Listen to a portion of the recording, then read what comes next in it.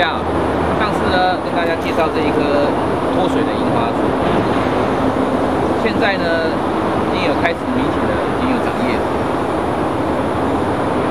我要告诉大家说，就是说哦，如果有一天你的樱花它太久没有浇水，像这样照着叶子有这个烧焦状的时候，赶快多浇水就可以了，它还是有机会把它救活。我将画面拉近一点，让大家看一下。